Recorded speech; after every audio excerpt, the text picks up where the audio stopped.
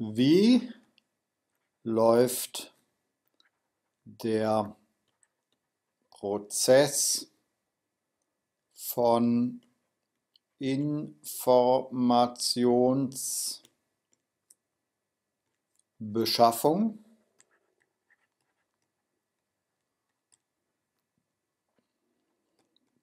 und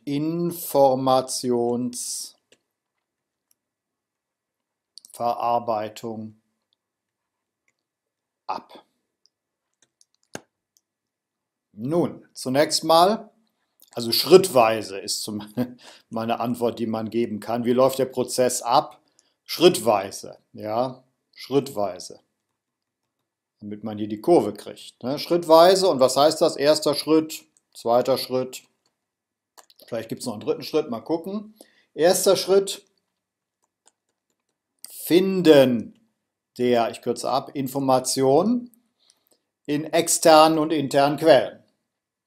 Zweiter Schritt, Erfassen, Ordnen,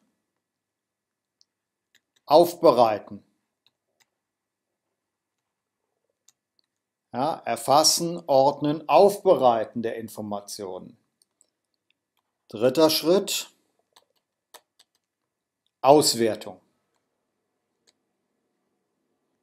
Ja, erst wenn die Informationen vernünftig erfasst, auch vollständig sind, sie geordnet sind und aufbereitet sind, dann kann man zu einer Auswertung kommen und dann im vierten Schritt eine Entscheidung ableiten. Also Entscheidungsfindung kann man sagen. Entscheidungsfindung im vierten Schritt.